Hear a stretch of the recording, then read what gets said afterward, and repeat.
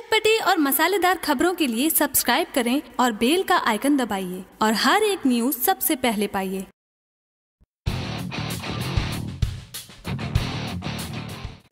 अजय देवगन की most wanted film बादशाह पिछले शुक्रवार को ही पूरे भारत के सिनेमाघरों में एक साथ रिलीज़ हुई। पहले दिन से ही इस फ़िल्म ने बॉक्स ऑफ़िस पर धमाल मचाना शुरू कर दिया था। इस फ़िल्म में अजय देवगन के साथ साथ इमरान हाशमी लेना डिसूजा, ईसा गुप्ता, विद्युत चंबाल और संजय मिश्रा मुख्य भूमिका में नज़र आ रहे हैं। फ़िल्म के बॉक्स ऑफ़िस कलेक्शन को लेकर फैंस भी काफ़ी उत्साहित है और बातें करें चार दिन की कलेक्शन की तो इस फ़िल्म ने करीब 50 करोड़ का आंकड़ा पार कर लिया है।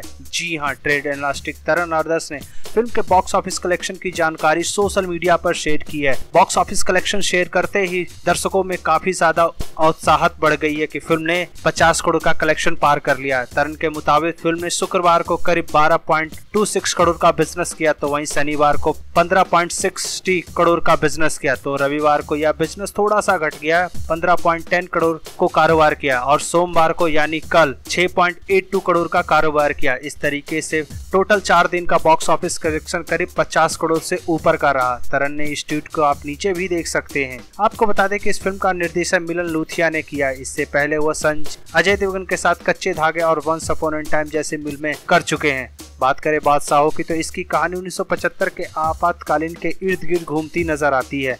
बादशाहों की रिव्यू की बात करें तो फ़िल्म समीक्षक के मुताबिक काफ़ी लंबे के समय के बाद एक ऐसी फ़िल्म आई है जिसमें मिर्च मसाला के साथ एक्शन तड़का भी भरपूर है।